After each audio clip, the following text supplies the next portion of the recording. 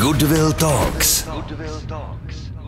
Tak ta léta je největší úspěch, že jsme došli až sem a vlastně jsme dokázali ten tým jakoby vybudovat lidi, kteří vlastně chtějí nějakým způsobem pomáhat jak ekologii, tak i lidem že to dokážeme vlastně vyřešit z vlastních zdrojů z větší části a hlavně krok za krokem učíme ty lidi táhnout za jeden pro vás a hlavně jedním směrem, protože jenom pro představu vytřídíme kolem 500 tun měsíčně, což je asi 25 tun denně. Takže kdyby vlastně takovýhle balík spadnul, který má třeba 400 kg a já bych pod tím stál, tak eh, je to jako by umrtí na místě. Goodwill Talks. Od píky až na vrchol. Biznisový podcast Lenky Hlavaté s úspěšnými podnikateli z rodiny Český Goodwill. Dnes s Pavlem Hendrichovským, předsedou sociálního družstva Diakonie Broumov. Vítám vás u druhé série rozhovoru o podnikání Goodwill Talks od píky až na vrchol. Jmenuji se Lenka Hlavatá a jsem výkonnou ředitelkou poradenské skupiny HPCG. Dnes vítám ve studiu Pavla Hendrichovského. Dobrý den, Pavle. Dobrý den. Předsedu sociálního družstva Diakonie Broumov.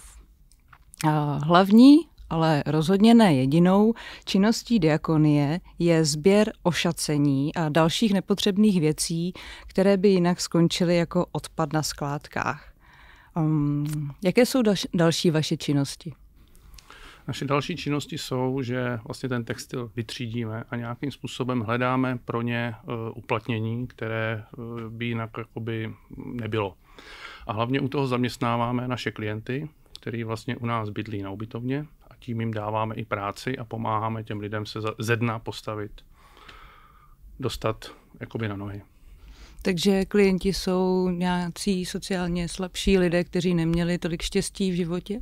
Ano, jsou to lidé, kteří mm, měli problém s alkoholem, kteří měli problém s partnery a vlastně odešli z rodin a vlastně zůstali na ulici. Procento? Mám se ptát, asi klasická 5%. otázka. 5%, 5% využije. Využije nebo spíš 5% eh, jakoby je úspěšných. Využijou i 100%, který k nám přijdou, ale 5% jakoby dokáží tento, eh, tuto šanci využít. Chápu. Diakonie Broumov pomáhá už 28 let. Vy jste v jejím čele jak dlouho? Já jsem v jejím člene pět let. Čele pět let. Ale uh, součástí týmu jste delší dobu, nemýlím-li se? Uh, letošní, v letošním roce je to již 22 let. Tak to je hezké.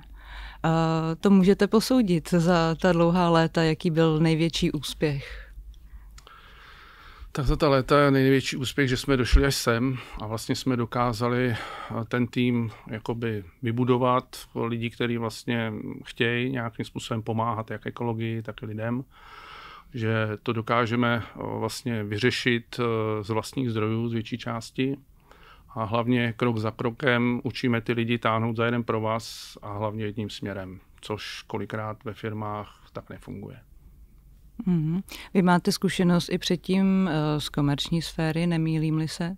Určitě. Takže můžete jsme, dobře srovnat.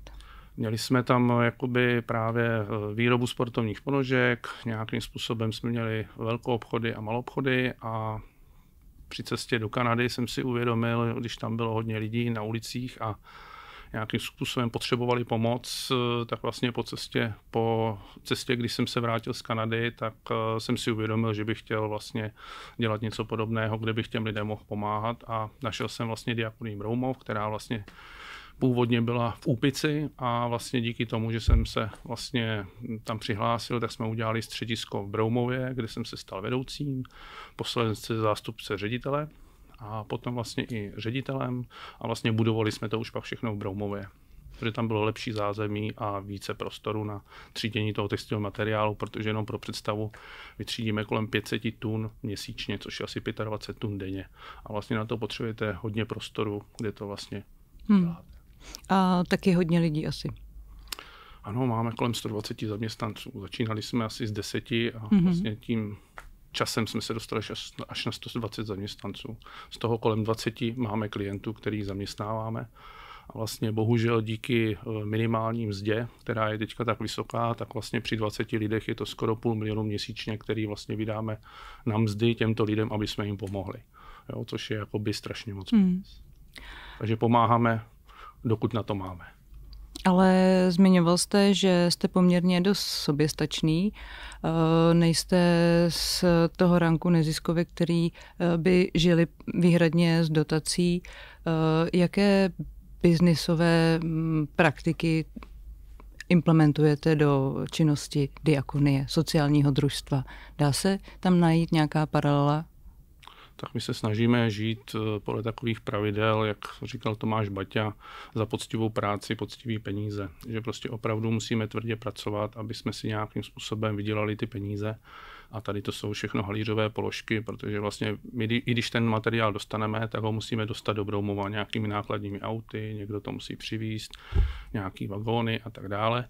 To všechno něco stojí a každá lidská práce vlastně zase něco stojí. Takže eh, my se snažíme eh, tento tuto činnost jakoby efektivně řídit tak, aby vlastně to bylo efektivní. Aby jsme vlastně tu, aby jsme to brali co nejméně do ruky, a vlastně jsme to rozstřídili třeba na 170 druhů a vlastně těch 170 druhů je strašně náročný jakoby na počet lidí a počet pracovníků. A pak vlastně každý, každý člověk nebo každá organizace nebo firma, s kterou spolupracujeme, chtějí určitý druh toho materiálu. Pokud je v pořádku, tak máme naše dobročinné obchůdky, kde vlastně to nabízíme lidem, kteří vlastně mají hluboko do kapsy a můžou z tomu nás nakoupit a tím zase financujeme ten celý koloběh, protože jenom třeba půl milionu měsíčně nás stojí svoz toho materiálu z celé České republiky. Mm-hmm. A pak vlastně tam jsou určité činnosti, které vlastně třeba, když to posíláme do zemí třetího světa, tak uh, tam vlastně to musíme rozstřídit zhruba na 150 sortů a musíme to zabalit, vyexpedovat a to jsou zase věci, které už by se tady neuplatnily, ale uh, jsou ještě upotřebitelné jinde, kde je ta móda posunutá oproti České republice. Takže vlastně tam je to nositelné, tady by to skončilo na skládce. Ale bohužel ta lidská práce zase uh, je tak drahá, že vlastně i to zabalení, vyexpedování a ta doprava je prostě drahá. A pak jsou tam jakoby další věci, kde třeba ten materiál už je poškozený, bavlněný a my z toho vlastně, naši klienti z toho dělají čistící hadry, to je jako když si doma rozstříháte tepláky mm. nebo mikinu a vlastně používáte to na nějaký čištění tak to vlastně my děláme v objemu třeba 60-80 tun měsíčně. A to vlastně zase posíláme firmám, který to potřebují a který to nějak... A pak jsou vlastně materiály, které už jakoby eh, nejsou nositelný, ale je to materiál jednodruhový, třeba svetry a tak dále, kde to zase dáváme do firem, který z toho dělají prachovky, koberce nebo prostě nějaký čistící věci. A pak jsou různý kabáty a tak dále, které jsou zase ještě aspoň třeba ze 70% vlna, tak zase firma z toho vyrobí nějaký výrobek a pak tam zůstává asi 20% materiálu, který už je eh, nerecyklovatelný, což jsou třeba zimní bundy, protože tam je pět druhů materiálů a díky tomu vlastně vy to nemůžete rozdělit na ty materiály, které vlastně ty firmy potřebují na to zpracování. Takže to se v tyhle současné době musí likvidovat na skládkách nebo ve spalovnách, mm-hmm. ale teď řešíme právě s vědci to, aby jsme dokázali tento materiál nějakým způsobem využít, najít proto nějaké uplatnění, že by se to zrecyklovalo a udělal se z toho výrobek, který by nám samozřejmě eh, přinesl nějakou přidanou hodnotu, protože teď je to ztrátový ale když vlastně vytvoříme díky cirkulární ekonomice nějakým způsobem z odpadu jakoby odpad je zdroj, takže vlastně hledáme, co z toho ještě využijeme, aby jsme nemuseli čerpat nové zdroje. Takže když se nám to povede, tak samozřejmě se zase posuneme dál a budeme moct pomoct více klientům, více lidem, který, vlastně, který to vlastně děláme. Je nějaký horizont, ve kterém byste si tady tento cíl chtěli realizovat? No, já bych to chtěl hned. To, je, to jsou takový ty mý eh, jakoby nejlépe včera, ale myslím si, že eh, my už na tom pracujeme delší dobu, teďka se to chýlí nějakým způsobem. Věřím, že do konce tohohle roku budeme mít už jakoby jasno a pak se bude vlastně patentovat a bude se jakoby tyto věci jakoby řešit, takže já si myslím, že nejdéle do konce příštího roku už by to mělo být prostě v plné, plné akci.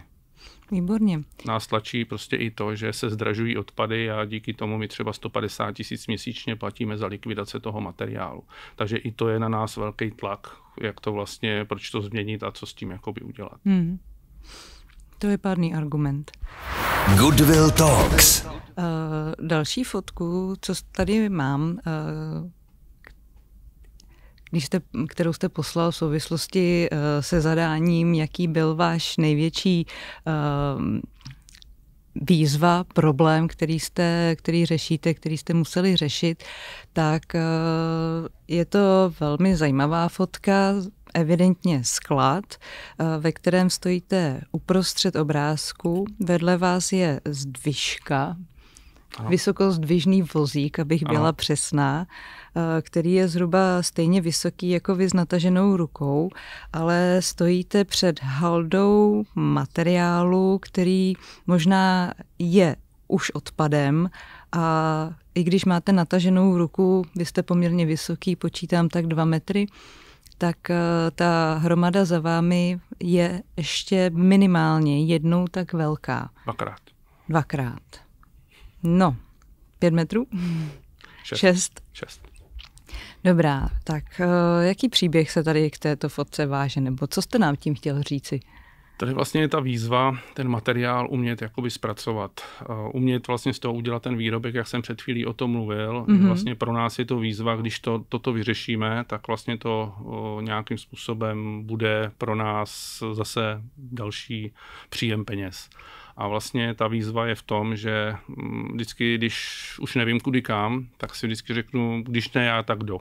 Takže nějakým způsobem vždycky sejdeme se v týmu a hledáme jakoby možnosti, jak to prostě vyřešit mm-hmm. a vlastně využíváme kontakty, které vlastně nám pomáhají s touto jakoby činností a myslím si, že to zvládneme, protože všichni, kteří vlastně nám s tím pomáhají, mm, jsou proto zapálení a vlastně nezišně i bez peněz vlastně jsou schopní jakoby do toho vložit svůj čas a energii.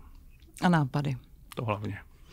Mm-hmm. A nebo mi vyvrátit mé nápady, který s kterými přijdu, aby mě uvedli do reality, že to není tak jednoduchý. To jsem si zrovna ověřil teďka v neděli, když jsem testoval ten materiál, tak jsem měl představu, že to půjde jinak, rychlejc a nebylo tomu tak. Takže jsem zase se vrátil zpátky na zem a posouváme se zase jakoby v jednom z projektů zpátky o dva kroky, aby jsme se kvůli většímu rozběhu mohli do toho víc pustit. Takový taneček vlastně ve výsledku taneček. to vy připomíná. Přesně tak. Dobrá. A Takových hromad tam jistě máte ve vašich skladech víc. Zavalil vás někdy uh, odpad? Nebo hromada šatstva? Naštěstí ne, protože kdyby vlastně takovýhle balík spadnul, který má třeba 400 kg a já bych pod tím stál, tak eh, je to jakoby umrtí na místě, což u nás dbáme hlavně na ty bezpečnostní hmm. rizika jakoby hodně. Ale již se to stalo, vlastně díky českému Goodwillu, jsme se, kde jsme se vlastně umístili na dvou, dostali, získali jsme vlastně dvě ocenění a tam vlastně jsme se potkali s Petrem Čtvrtníčkem, kterého jsme přesvědčili, jestli by se nestal tvářit jako je Broumov, tak se nám to povedlo a vlastně Petr, když přijel, tak vlastně eh, chtěl zaházet jakoby eh, hadramy. Tak jsme vlastně eh, tam měli velkou kupu jakoby hader, do který si Petr vlastně vlezl, zaházel se tam a pak vlastně vymysleli, že poleze vlastně z ty hromady jako zombí. Takže vlastně z toho vlastně on vylézal a samozřejmě on eh, jakoby eh, dělal to nezištně, to musím jakoby podotknout hmm. a eh, za což mu moc děkuju. A hlavně tam je další věc, že si vymýšlel takový prostě vtipný věci, který bych po něm ani nechtěl, kdyby to bylo za peníze. Takže on třeba řekl, já si tohle tu kravatu strčím do pusy a budu ji jako tahat, že jsem vylez jakoby z toho jakoby, jako zombie, že jsem se probral v těch hadrech, potom vymyslel, že ho zalisujeme v lisu, což uh, jakoby bylo velice zajímavý, protože uh, naši klienti hned byli jakoby vtipní, že jako řeknou, tak my tě tam trošku jakoby přimáčknem, aby to jakoby bylo. A já jsem říkal, prosím tě, na nic nešahej, já si to tady o šéfu, protože oni chtěli být strašně akční a když to Petr viděl, tak vlastně říkal, já jsem ještě v lisu, jestli o tom nevíte. Takže tam eh, různý tyhle ty příběhy byly moc vtipný. Když budete chtít, můžete se podívat vlastně na to video na našich stránkách. Je to velice vtipný a zajímavý, je to průřez diakoní a o, o ty naší práci a hlavně je to vtipně pojatý Petrem, což se mu velice povedlo a moc mu za to děkuju. Evidentně to dobře dopadlo, protože médii žádná zpráva o tom, že by Petr Čtvrtníček byl rozdrcen lisem v diakonii Broumov eh, neproběhla, pokud vím. Určitě ne a jinak video má název Petr Čtvrtníček řekl, má to smysl a skončil v lisu. Takže o, ta sledovanost tam byla taky zajímavá, takže určitě se na něj podívejte, protože vás to určitě pobaví. Dobrá, děkujeme. Petr si tam pěkně zatancoval i s klienty a s klientkami, moc, moc ho to bavilo, moc ho to jakoby strašně nám to pomohlo, jakoby, že, že tam přines jakoby dobrou a pozitivní energii, že vlastně i ty klienti, i ty zaměstnanci z toho měli jakoby strašnou srandu. Dovedu si představit, velice, že si to užil každý. Vtipný. Ano, přesně. I třeba na našich kontejnerech teďka máme vlastně na vhozech vlastně příspěvek na, jakoby na podporu třeba uh, na příspěvek na naftu. A vlastně Petr tam vlastně to utváří diakonie a vlastně jsou tam ty QR kódy, kterými vlastně člověk může zaplatit. A to sami jsme, něco podobného jsme pak uspůsobili na naší prodejny. A zase to tam bylo vlastně z naší vedoucí, která, která je taková usměvavá a moc jim to jakoby uh, slušelo. A když jsem vlastně vylepoval na prodejny osobně s kolegyní jakoby ty uh, plagáty, tak vlastně přišli zaměstnanci říkali, já bych chtěla vědět, kolik za to dostali. Říkám, chcete taky tolik? Ona, jo, kam nic. Hmm. tak z toho byli udivení, že vlastně to proběhlo zadarmo a ještě jednou za to Petrovi děkuju. Hmm. Také se připojuji a jsem ráda, že jsme k něčemu takovému uh, bohulibému mohli přispět. Nebejt vás, tak vlastně bychom ho vůbec jakoby nepotkali a takže moc děkuju. Co zajímavého se ještě dozvíme? Poslouchejte dál. Vy jste říkal, že, nebo vaším motem je, jsem jen obyčejný člověk, který chce změnit svět k lepšímu a je potřeba začít u sebe. To je naprostá pravda. Čím jste začal, Pavle?